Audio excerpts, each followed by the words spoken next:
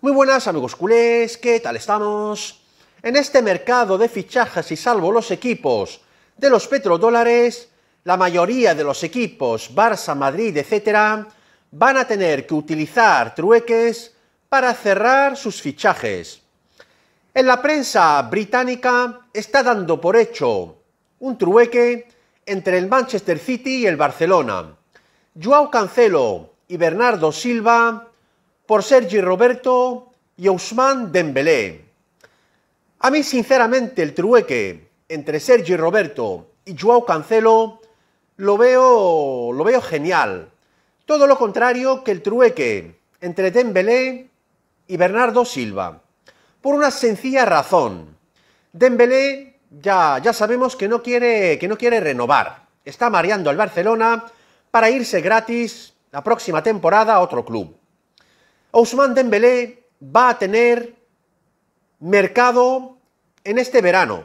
Estoy seguro que se va a salir con Francia en la Eurocopa y para mí sería un error eh, utilizarlo como trueque con Bernardo Silva, porque en este mercado Dembélé lo podemos vender por una cifra que rondaría los 70 millones de euros sin ningún problema.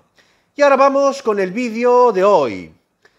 Jean Laporta quiere hacer algo grande en este mercado veraniego. Laporta no se va a quedar solamente con los fichajes de, de Agüero y Eric García. Atención a esta noticia bomba de última hora.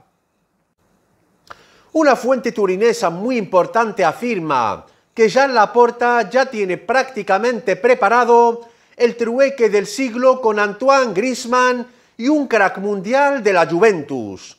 Griezmann está dispuesto a jugar en la vecchia señora, ve con buenos ojos jugar en la Juve y el crack que quiere la porta al principio por Antoine Griezmann es el central holandés Mati de Pero ahora viene la gran bomba.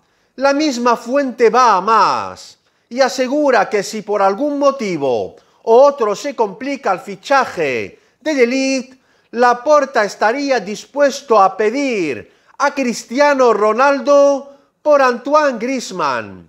El astro portugués no está a gusto en la Juve y estaría dispuesto a jugar con Lionel Messi las próximas dos temporadas.